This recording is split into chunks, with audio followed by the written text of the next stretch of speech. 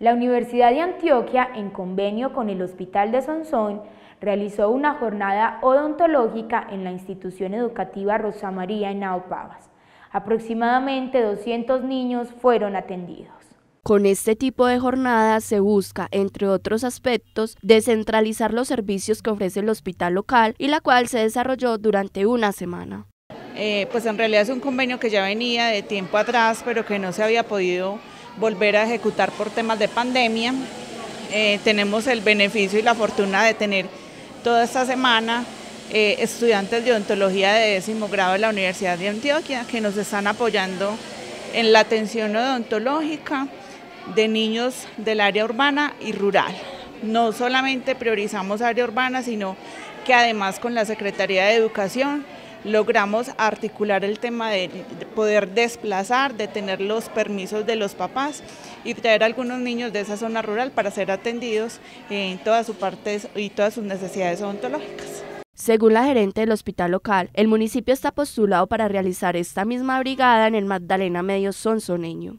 Estamos eh, realizando básicamente todo lo que comprende el post eh, básico, eh, operatoria que es realizar restauraciones en cavidades por caries o por destrucción coronaria, realizamos exodoncias y la primera fase de la limpieza, es decir, profilaxis, control de placa para ver qué cantidad de, de cosas tienen en su boca y control y flúor.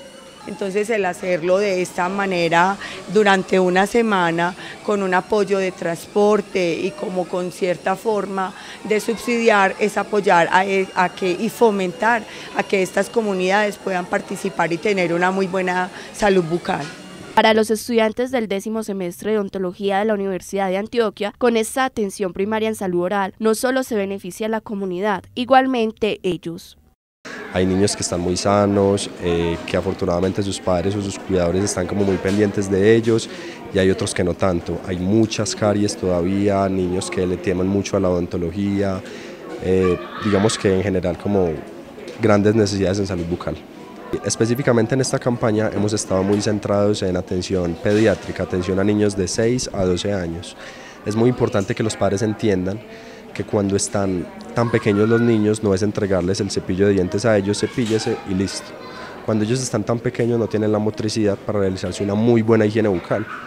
Entonces es necesario que por lo menos hasta los 11 o 12 años, eh, claro, le entregas tú el niño, el, pues el cepillo al niño, ellos hacen la higiene, pero los padres o los cuidadores siempre deben pulirlo y verificarlo, pues como para que realmente sea una muy buena higiene. Finalmente, los menores atendidos manifestaron cuáles fueron los procedimientos que les realizaron en esta jornada de atención en odontología. Me dijeron que tenía dos dientes de leche y ya trabajaron todo lo que debían. Cuidarme de los dulces. Me revisaron los dientes y me dijeron que estaba muy bien. Cepillarme. Me pusieron unas cosas en las muelas de arriba que me tengo que cepillar tres veces al día